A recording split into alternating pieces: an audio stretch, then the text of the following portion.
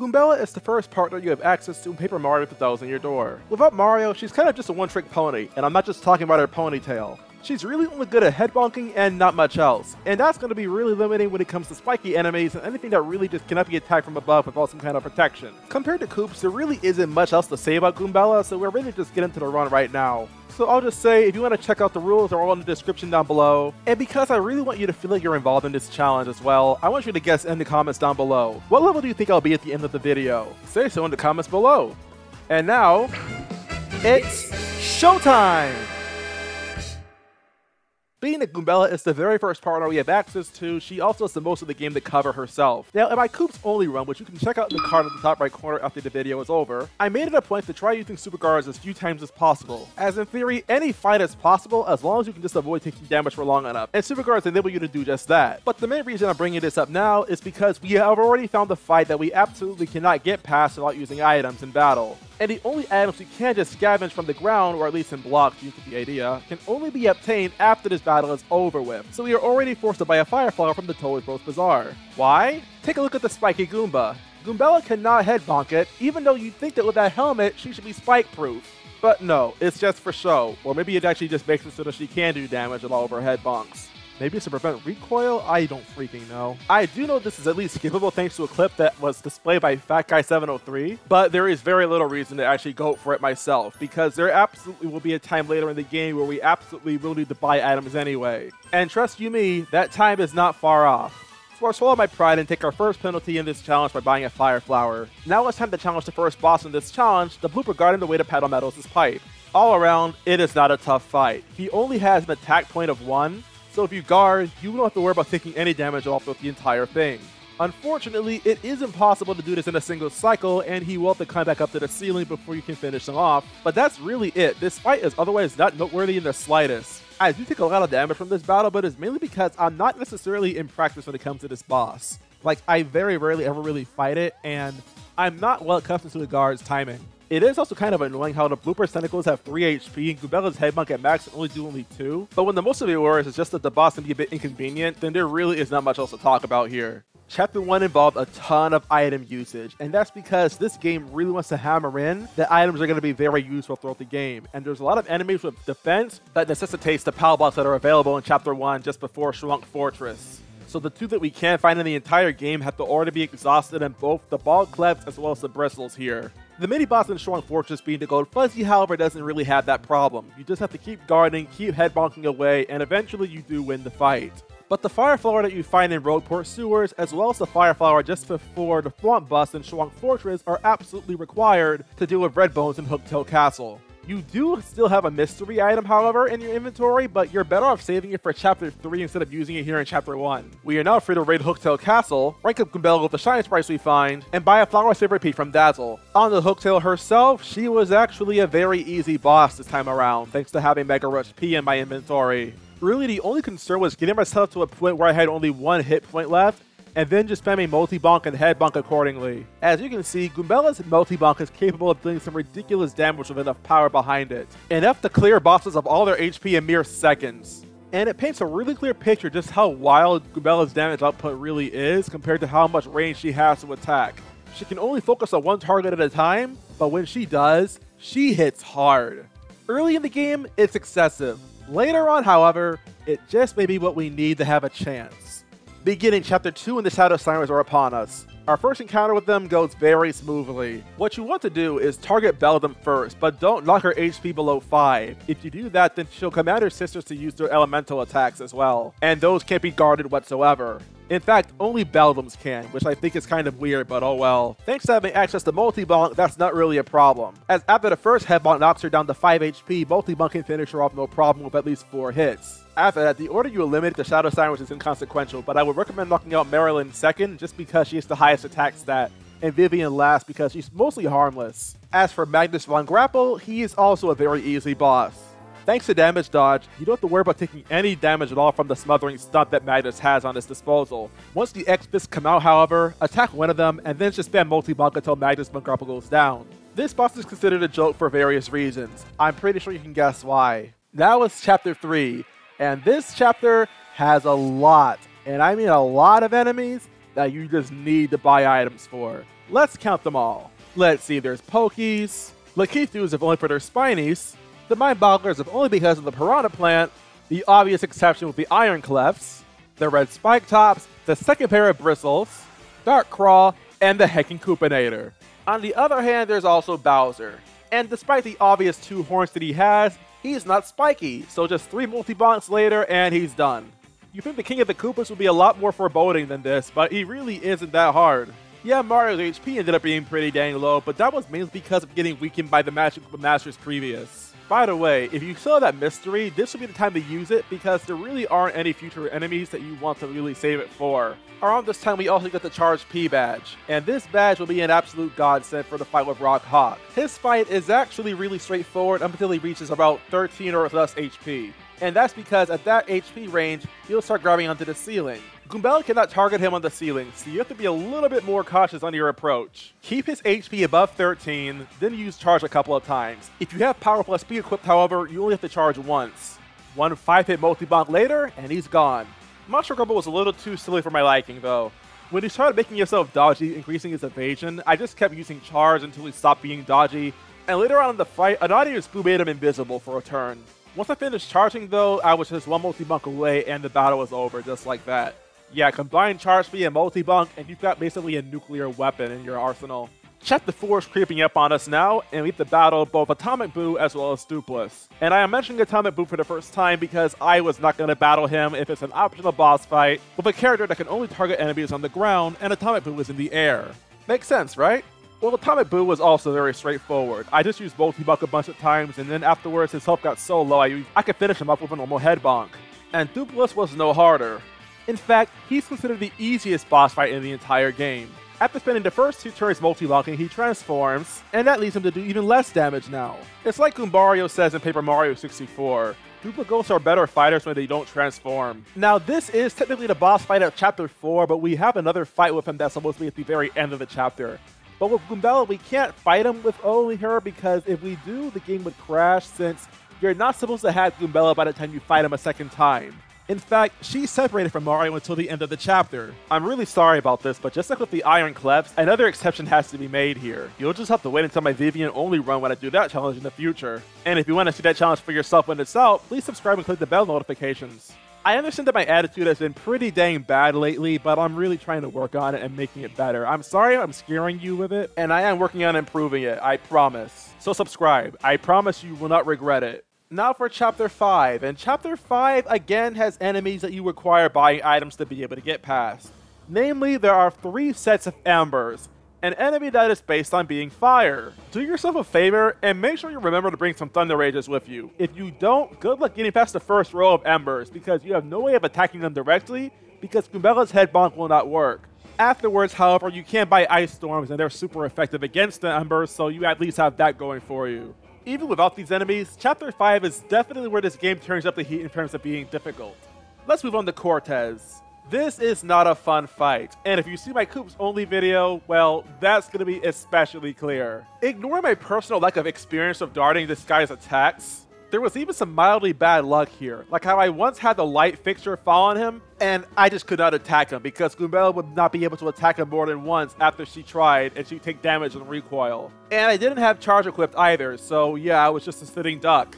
I mean, fortunately, he couldn't really do any damage to me because my defense was so high, but it was kind of awkward not being able to do anything just because of that happening to me. This feels like one of those battles I really should have thought to have Mega Rush P equipped, but I just didn't, and I don't really know why I didn't, because it'd be fantastic here. Damage can build up very quickly, especially in the second and third phases when he has his charged attack and all of his weapons fighting alongside him when he's not holding them. But the bottom line is, my lack of consistency is really what was doing me in. Like, I was actually missing guards stuff like the claw, which I normally never do miss. And getting poisoned by that claw can really, really suck for you. Both times I lost to him, I could not even get to the point where Cortez would eat the audience's souls. I do have to say though, having two attack compared to only having one attack, comparing with that defense set that he has, it really goes a very long way in making this fight easier. Less multi-bonks are required to deal more damage more quickly, and not only that, but it means less turns to be spent using charge. And the less time you have to spend worrying about Cortez's hook and his swords, the better. This is the first boss fight where I really had to think about what badges I had equipped since Hooktail, because the way the fight is designed is just a lot harder for me to autopilot in it. And then there's Lord Crumpetous Crossnots. This fight was actually not very difficult. Ideally, eliminate the crossouts early because they do a frightening amount of damage otherwise. In the first phase, Lord Crump can only choose to either resummon them or attack himself. So take advantage of that and just take them out as quickly as you can. Phase 2, however, can be a little bit dicey though, just because of how much damage he can do with his Crossnot Ball. This attack also, just like the Atomic Boo Breath, is another attack where you can't just press A or B once, but you have to press it twice in accordance to both your partner and Mario to both guard effectively. But like I said before, it's not hard, and we win on our first try. Chapter 6 is up next, and at the end of the row we have to battle Smorg. This fight could have the potential to be very, very obnoxious if it wasn't for the fact that you have access to getting an Earthquake from Twilight Trail as well as a Thunder Rage from Riverside Station. But ideally, you would have used the Thunder Rage in Chapter 5, so it's a good thing that you get a Chapter 4 Earthquake for here because you really are going to want to take out those Miasmas as fast as possible. The game plan here is just to guard the Miasmas while you just spam charge. If you're good at this game and like me, you won't have to worry about getting knocked up by the Miasmas because you're actually able to guard them all. But me? No. I just cannot for the life of me get consistent guards here at all. I actually ended up losing once. But all you really need to do is charge until your attack set is up to 12, and then multi-bonk for at least 5 hits. Before you multi-bonk, however, make sure you use your Earthquake to eliminate the Miasmas, even if it doesn't attack Smorg itself. This is because Miasmas actually give Smorg infinite defense unless it's the Claw. In a fight that I dare say well overstayed its welcome, it doesn't really take too long to finish if you know what you're doing. It's just that I'm really out of practice, and even if I was in practice, this is not a fight that I have very much experience with either. You also may have noticed I have a fourth move now in Rally Wink, and this move is also completely useless for me, so just understand that if you're ranking it with Merlon again, it's mainly for the extra attack power, because giving an extra turn to Mario doesn't really help you whatsoever. Just like that, we already have 6 Crystal Stars. Man, this game just came and went. Just like my notoriety from doing Pokemon challenges.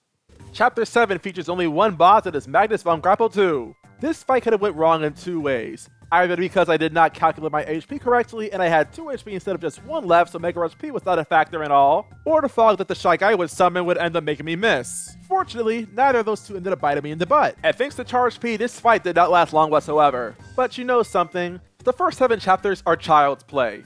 No, no. What you really came to this video for is Chapter 8. It's featuring a bunch of bosses with high attack and high HP, and a very high chance of failure. Without further ado, let's talk about Chapter 8. A day with Dark Bones is waiting for us, and it's here that I finally use my mystery. The way this fight is loaded out, you have to deal with 4 Dry Bones and a single Dark Bones. The Dry Bones having 8 HP, the Dark Bones having 20. Because Goombella can only target a single enemy at a time, and spending too much time with one of them being collapsed while allowing them to reanimate, you really have to be able to hit them all at once in order to make any progress in this fight.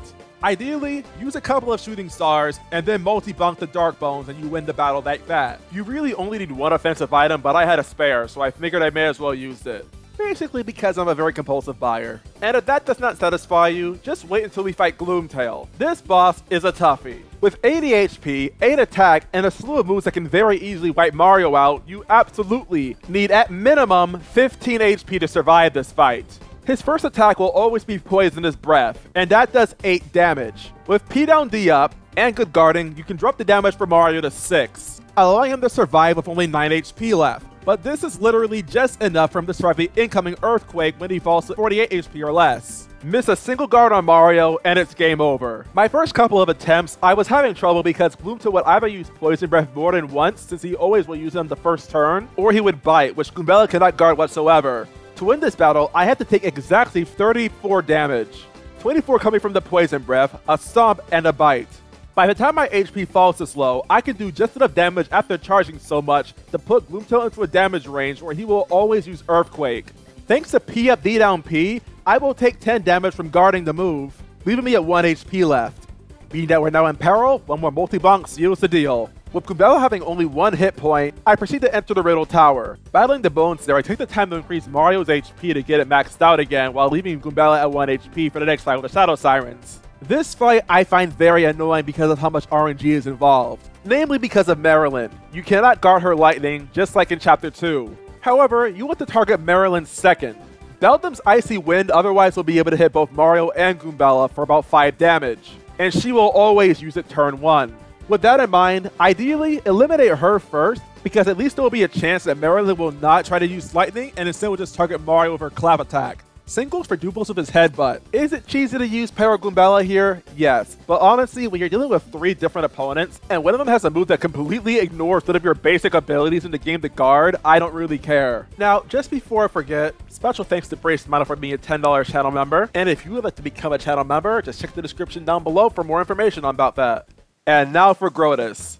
This fight is hard. Because Grodus starts with a shield turn 1, and you always have to eliminate more Grodus X's to be able to break it, and he always spawns more every time you actually knock out some of them, you absolutely need to use items in battle to even be able to dent him. Fortunately, you're given plenty of offensive items within the Palace of Shadow, so that's not really a problem. No, the problem is just how much damage Grodus can do with his attacks as well as his Grodus X's if you don't have enough defense on you. And all of his attacks can pierce, so you really can't do much to negate the damage he can do, especially not to Mario.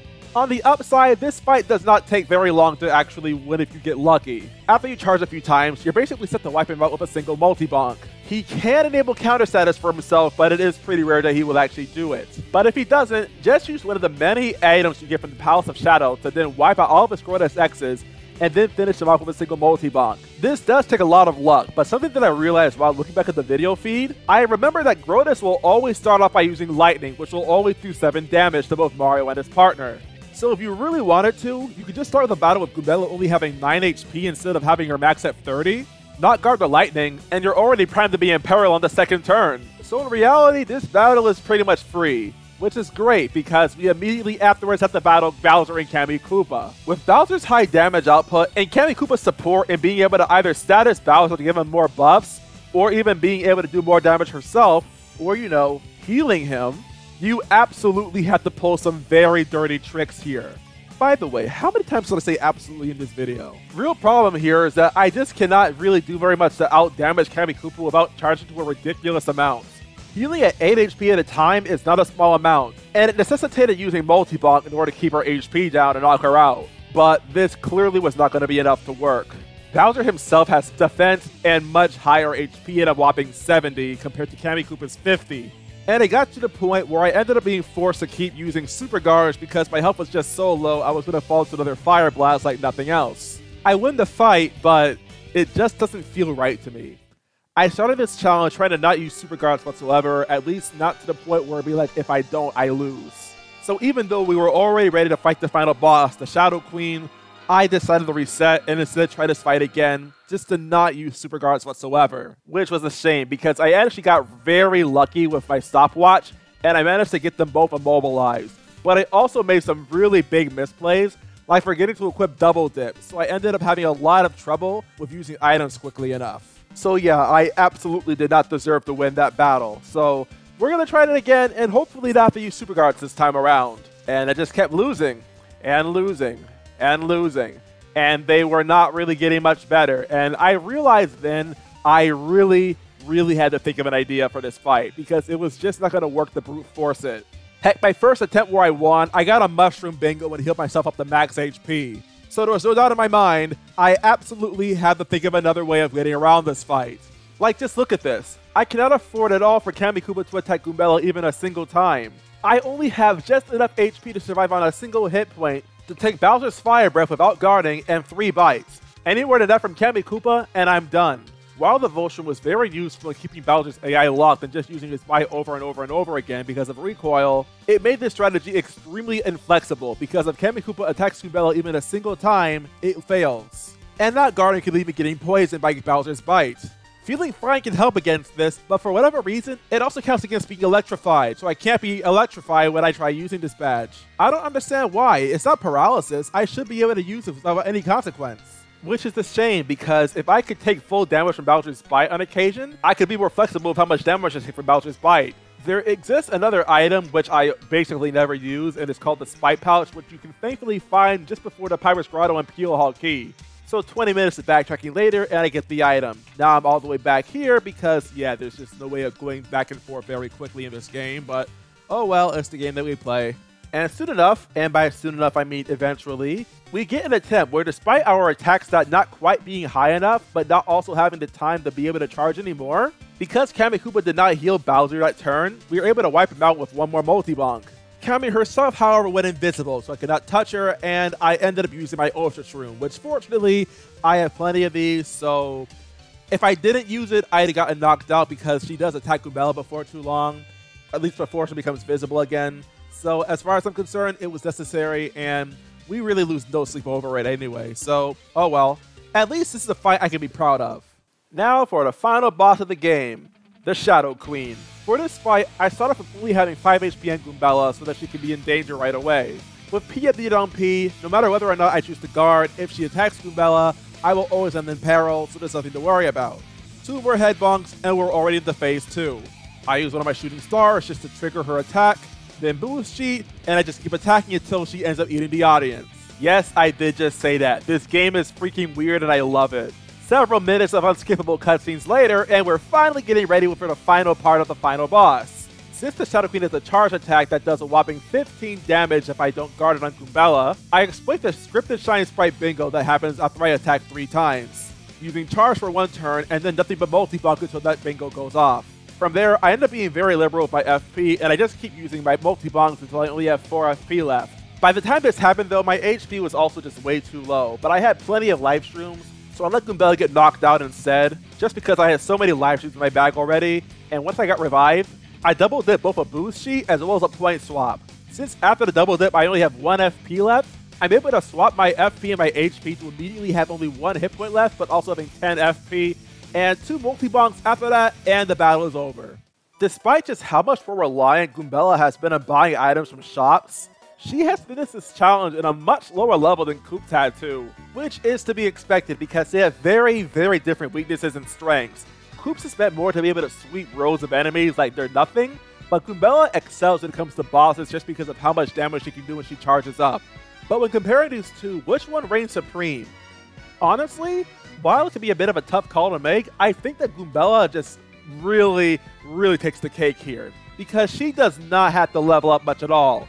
In fact, I was actively avoiding fights, which granted she couldn't really do much about anyway, but when it comes down to it, she didn't have to fight them anyway, because Koops had the grind at some points, and there were some areas where he was struggling because he did not have a higher level on him.